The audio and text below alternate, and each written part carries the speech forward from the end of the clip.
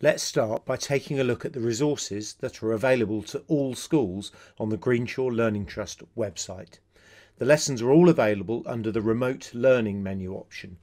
Here you will see they are displayed by year group and then by subject.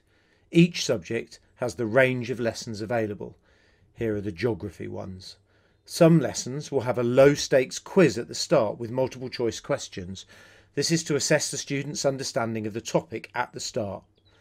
Once the questions have been completed, the student will be able to see which questions were answered correctly and they will have the option to export the answers or print them if required and send them to their teacher. At this point, the lesson can be viewed. At the end of the lesson, there will be a post-lesson quiz.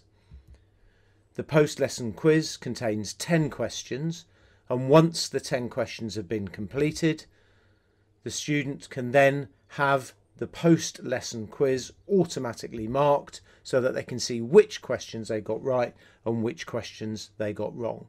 These can then be sent to the teacher by exporting the results as shown on the screen. If you'd like to find out more about options available for accessing the Greenshaw Remote Learning resources, then please visit the URL on the screen.